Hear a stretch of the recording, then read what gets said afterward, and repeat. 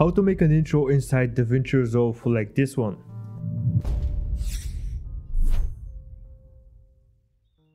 Add the Fusion composition on your timeline, right click and open in Fusion page. In here you want to add the background which is right here and then connect it to your media out. Next you can highlight your background, open inspector in the top right and you can change the color of the background of your liking.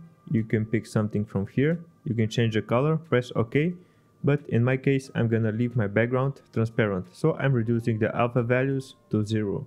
Next step is to add our logo. So we want to go to our media pool, which is on the top left, still in the Fusion tab.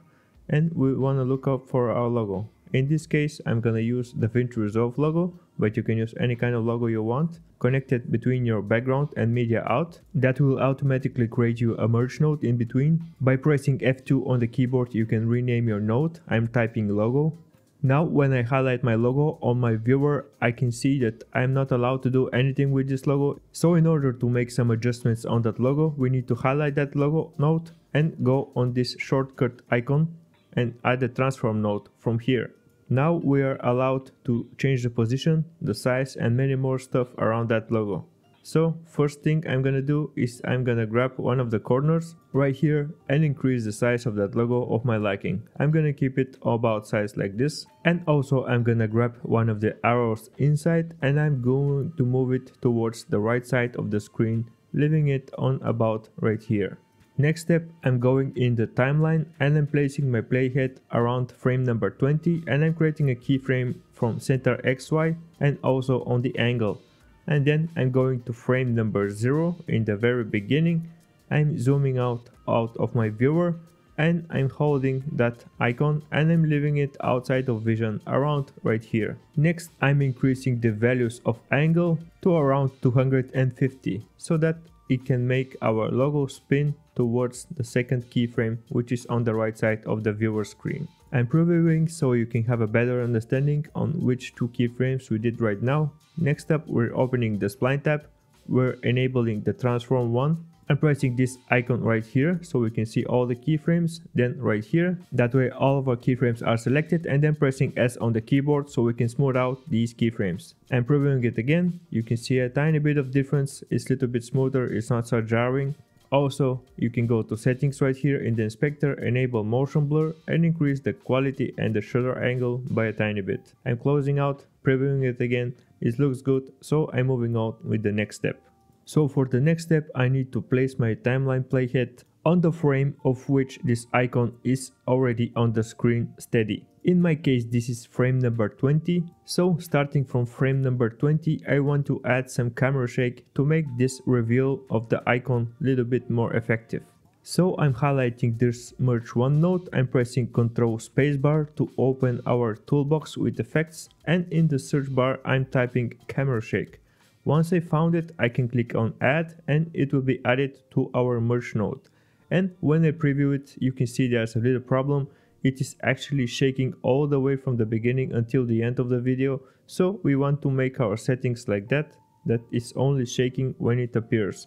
So I'm gonna decrease the values of that camera shake go into the frame which I want to start my camera shake which is on frame around 2021 then I'm gonna go in the inspector and I'm gonna activate all of the keyframes, the position, rotation and strength. Then I'm gonna move forward in the timeline, just about one or two frames forward. And I'm gonna increase the values just by a tiny bit on all of the settings that you have just saw me reducing by now. These settings values are based on your liking, so don't try to copy everything I do, just use your intuition on what settings should be better for your camera shake. I'm adjusting my values and I'm going further in my timeline. This is the moment until when I want my camera shake to be happening. So I'm creating my third keyframe with the same values. So between my second and third keyframe this effect is gonna happen. And now I'm creating my fourth keyframe with values of 0 again. This is where the effect is gonna end. I'm also adding some motion blur. This is what we're having so far. A nice spinning logo with some camera shake elements at the end. And now we're halfway done. Moving on with the next step I'm highlighting the logo. I'm adding another transform icon. I'm highlighting this transform 2 node that we just have created and I'm going on the timeline on the place where our shake effect is ending in my case is on frames around 30. So I'm placing my timeline playhead right there and I'm going in the inspector creating a keyframe next to center XY.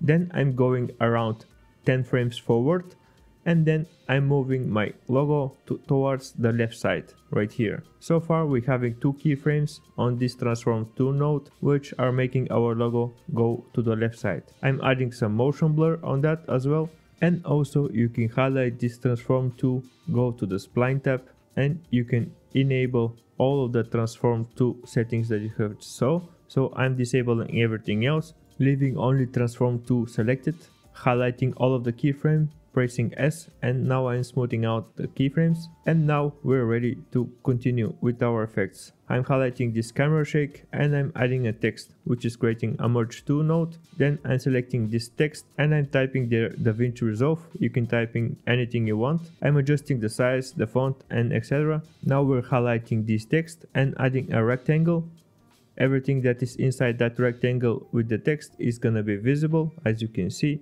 so now we're gonna animate the text reveals as the logo is going towards the left side. So now we're gonna create a few manual keyframes on that rectangle text. First I'm moving my rectangle towards the right side until I don't see my text anymore. Then I'm creating a keyframe next to center XY and then I'm moving my timeline playhead by pressing the right arrow of the keyboard one frame at a time and each time my logo is moving towards the left side, I'm changing the position of center X on our rectangle which is attached to our text, making sure that it's following our logo and it is revealing our text as the logo goes to the left. It's very hard to make just two keyframes and make them fit your logo, so you have to do all this manually and good thing is that it's just around 10 frames. I actually managed to do this just by using 5 keyframes, so I'm gonna preview now so you can see what we're having so far.